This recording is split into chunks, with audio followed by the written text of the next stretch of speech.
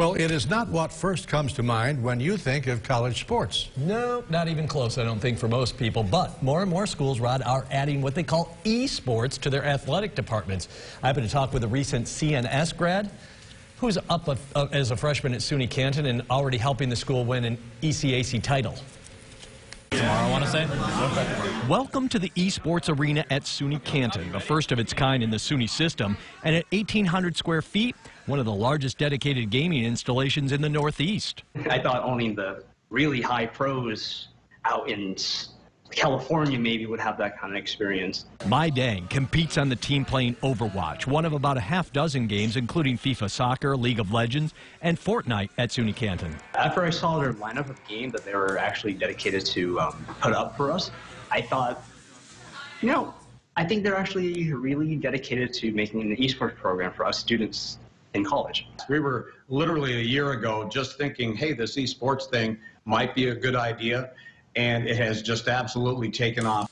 With 25 high-end gaming rigs, SUNY Canton is giving its athletes the most competitive edge it can for competition with other colleges. Our coach is recruiting prospective competitors for esports. We are uh, we have tryouts. Our students are jockeying for position. They're looking to make the team. They're looking to improve. Because the esports program falls under the athletic department at SUNY Canton, these athletes are held to the same eligibility standards as traditional athletes. Minimum grade point average, must be full-time students. It matches up so well with some of the majors that we're offering here at SUNY Canton, like game design, like graphic and multimedia design, like cybersecurity, and even some of our engineering majors as well. Dang, a freshman majoring in game design, says that and the esports program is a main reason he chose SUNY Canton for college.